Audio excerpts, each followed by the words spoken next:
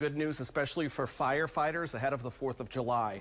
The drought in Missouri is pretty much non-existent this year. Now, last year's drought monitor that you see here on the right, the oranges and reds refer to severe or even worse drought, which was all over the map, as you can see here. Charmel Odell spoke with firefighters who say that could lead to a less hectic holiday weekend. Charmel. Rob, well, fire officials tell me more wildfires were started on the 4th of July more than any other day throughout the year. That's why they really want to stress the importance of staying safe.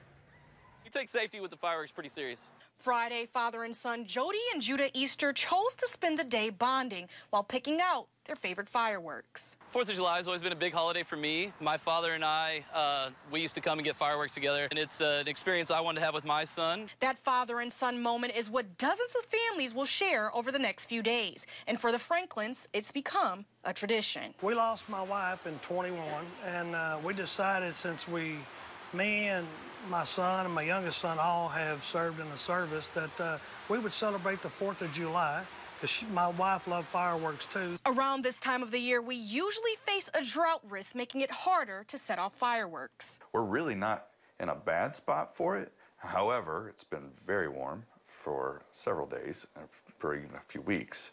Uh, and all of that counts. The last two years, Missouri's governor has signed executive orders to respond to the extreme droughts. It wasn't until this spring that the Ozarks pulled out after a lot of heavy rain.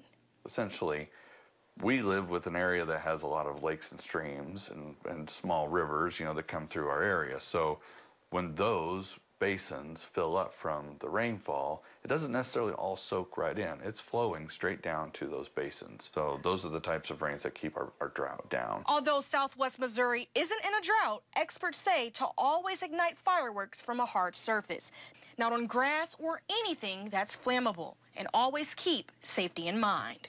He's kind of taught us, you know, that you can have fun, but be smart about it and take into care take in, you know, that there's other people around you that could be affected if you do something dumb. Have fun and stay safe lighting fireworks. It's 100% it. And here's another good option for you all. You can also go to events like this one right behind me in Republic and let Pyrotechnics take care of setting that big grand finale for you. In Republic, I'm Charmel Odell, KY3 News.